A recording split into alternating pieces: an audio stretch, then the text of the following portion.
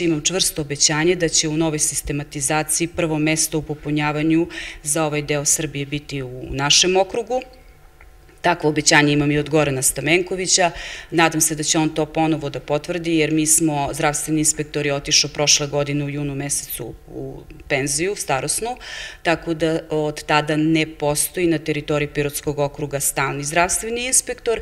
Mi smo e, teritorijalno ka Nišu okrenuti, tako da imamo inspektorku koja radi samo po prijavama i predstavkama građana, a u ovom trenutku je mnogo bitnije da se radi preventivni pregled, tako tako da ja insistiram i trudim se i verujem da će novom sistematizacijom stvarno biti popunjeno ovo radno mesto kod nas.